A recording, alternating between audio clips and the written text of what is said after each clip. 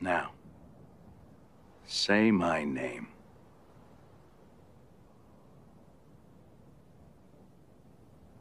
Yeah. You're goddamn right.